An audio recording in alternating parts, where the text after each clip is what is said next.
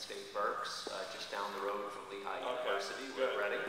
Um, I know, I'm sure you've heard the criticism that the pundits often raise of the conventions are overproduced, you know, that the candidate doesn't come through. Uh, Are you conscious of that in planning the production, that we want to try to make it so that the candidate comes through uh, and balance that against uh, production, or is that a consideration? Yeah, I mean, I think at the end of the day, we haven't done our job if the candidate hasn't come through, quite honestly. But also, the pundits don't have a job unless they make fun of other people. So, uh, that's what they do.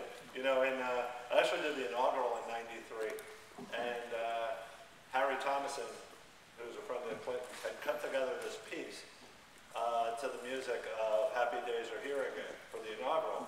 And what it was, was clips of all the pundits making fun of Clinton, all the pundits, I mean, Novak saying, he's dead, he's dead, he's dead in the water.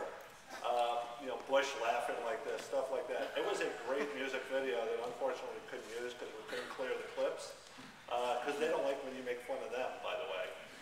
Um, so they're going to make fun of whatever. Like I said, Jon Stewart, funny man. His job is to make fun of both sides.